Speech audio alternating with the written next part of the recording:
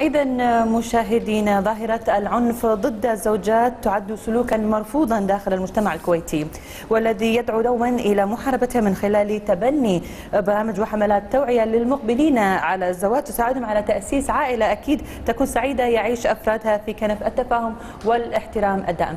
فريق تلفزيون طبعا الكويت ذهب إلى يأخذ آراء الشارع الاستفتاء والاستطلاع لآراء الشارع الكويتي. طبعا أعده هذا الفريق. الفريق نشوفها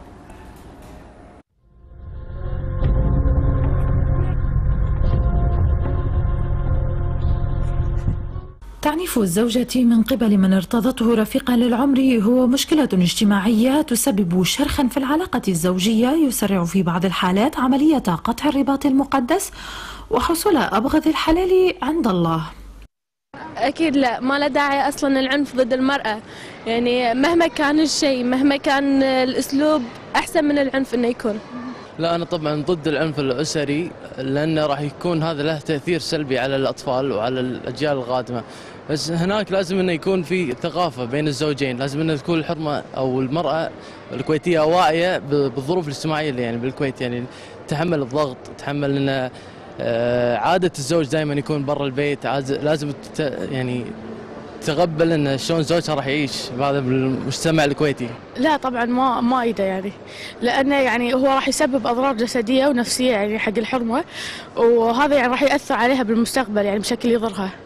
العنف الأسري لا يولد من فراغ لذلك على الزوجين وضع العائلة على رأس قائمة أولوياتهما واحترام مكانة الطرف الآخر وتقديم التضحيات من دون حسابات والتحلي بالصبر لا فقدان الأعصاب. وعدم جعل التهديد والوعيد والضرب الوسيلة السريعة لحل أي خلاف فإدارة الأسرة مهارة وفن. أه، أول شيء طبعا الأهل.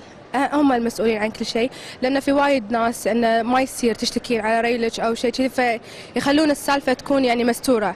فبالعكس لا إذا واحدة قاعد تعرض حق العنف لازم يعني من البداية تروح تتكلم ما تضطر انها تعيش معاه وتجيب عيال زيادة وتعيش معاه تضطر لا هذا شيء غلط.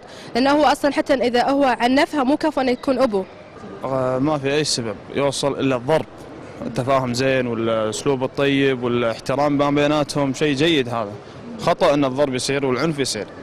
العنف تجاه الزوجة مرفوض أخلاقيا واجتماعيا ودينيا باعتباره لغة الإنسان الضعيف الذي يعيش باستخدام منطق القوة للقوة دون اللجوء للتعقل والعقل الذي ميز الله به الإنسان عن سائر المخلوقات. سناء الوسلاتي تلفزيون دولة الكويت.